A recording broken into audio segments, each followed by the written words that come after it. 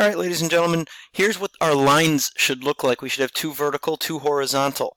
Our x is greater than negative 3 should be dashed, x is less than or equal to 7 should be solid, y is less than 6 dashed, y is greater than or equal to 0 solid.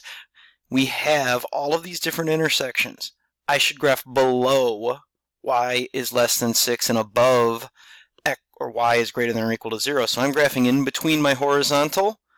I graph to the left of x is less than or equal to 7, to the right of x is greater than 3, in between my vertical lines. That leaves this section in here as the only possible solution set. And as we see, this is what our final solution should look like. This is a hard one to graph if you're going to try to graph everything, because if I were, I'd have actually the entire thing colored in at some point. So I think it's oftentimes helpful to just look at and compare your two horizontal lines, compare your two vertical lines, and either just like lightly sketch in between these and then lightly sketch in between these and you can see the overlaps in the middle. Uh, you can also always check a point at this point here as well. You can check something like 2, 2 and see that 2 as my x coordinate works. It works here. 2 is my y coordinate works here and here. So 2, 2 is in the middle here. That's my solution set.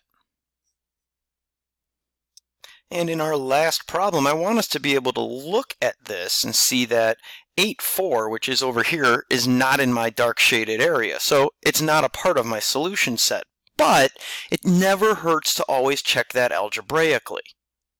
So in this case, that means I'm going to substitute 4 in for my y and 8 in for my x. I see it does work for my first inequality, but not for my second. It's not a solution to the system then. Algebraically, and then graphically.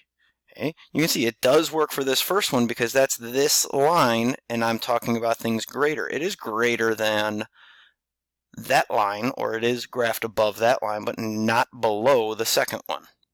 Okay? Go ahead and check the second and third ordered pairs. So graphically, we can make our decisions just based on location, negative 8, negative 4 is a no. It's not in that dark shaded area. And 1, negative 1 is, so it's a yes. So what does that look like algebraically?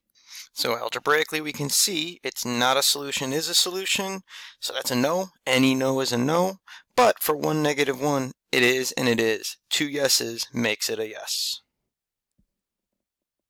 All right, ladies and gentlemen, you're going to have a worksheet to work on tonight as practice, and then we have review of all of our uh, linear systems of inequalities and just our linear inequalities on graphs. And then we will take a quiz the day after that. Good luck, and please, as always, let us know if you have questions.